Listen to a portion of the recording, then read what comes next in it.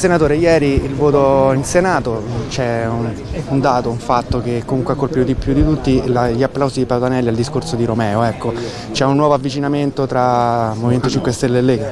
Ma no, ma no, c'è semplicemente il fatto che in questo momento noi dobbiamo promuovere una riflessione che scuota l'Italia da questo sentimento di fatalismo, di rassegnazione per cui sembra che l'escalation militare sia l'unica strada percorribile. E continuiamo ad ostinarci a non vedere le conseguenze di questa escalation militare che attenzione non è data solo dal fatto che prima o poi l'errore capiterà l'incidente capiterà e allora saranno guai per tutti, ma sta cambiando anche il quadro geopolitico in questo momento. Pensate solo al protagonismo cinese, pensate a che cosa siamo riusciti a fare con la nostra inerzia cioè dare alla Cina la possibilità di rivestire un ruolo principale in diplomazia presentando un, di un, un piano di pace. Lei eh, conosce un piano di pace presentato da un soggetto occidentale, da uno Stato occidentale, da un organismo occidentale,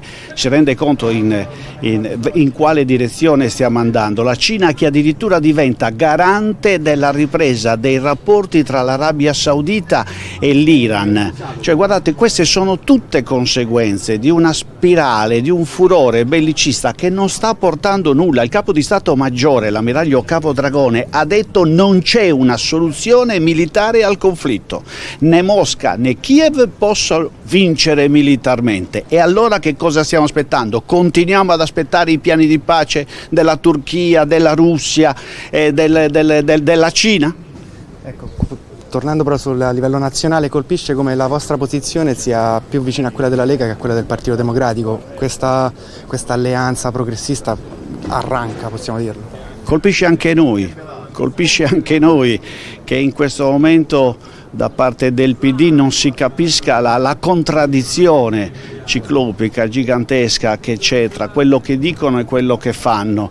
Dicono che sono costruttori di pace, ma fin quando parleranno le armi non ci potrà mai essere nessun tavolo diplomatico e mi fa specie che loro non lo comprendano. Ecco, a proposito di armi, ieri è uscita la notizia che il Regno Unito è pronto a portare in guerra i suoi proiettili all'uranio. Ecco, un tema di, molto pericoloso, considerate anche le parole di Putin che ha detto ecco, c'è questa escalation, quindi volete una guerra nucleare. Ecco, questa domanda la faccio ai, ai miei colleghi eh, del Partito Democratico, vediamo che rispondono.